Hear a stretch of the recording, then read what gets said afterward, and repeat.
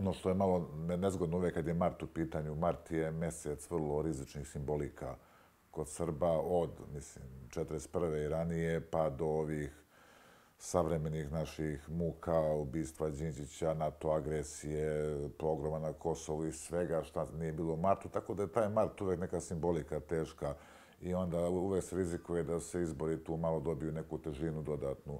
E sada, mislim da mi uvek kad radimo u demonstratu istraživanja, Kosovo nikada nije na onom prioritetu šta ljudi prvo kažu, šta im je najbitnije. Oni prvo kažu životni standard, zdravlje dece i to.